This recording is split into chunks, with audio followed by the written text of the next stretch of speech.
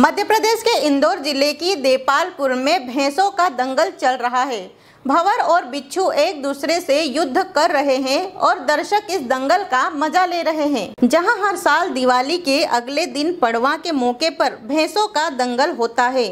यह परंपरा कई दशकों से चली आ रही है। भैंसों के दंगल में जो भी जीतता है, उसे नगद राशि दी जाती है। बताया जा रहा है कि इस दंगल के लिए भैंसों के मालिक कई महीनों से तैयारी करते हैं, ताकि उनके भैंसे पूरे दमखम के साथ इस युद्ध में लड़े और विजेता बने।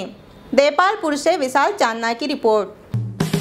हेलो फ्रेंड्स आप देख रहे हैं हमारा channel S W twenty four news हमारे सारे वीडियो सबसे पहले देखने के लिए आप हमारे चैनल को सब्सक्राइब करें और पास में लगे बेल आइकन को दबाना बिल्कुल भी ना भूलें।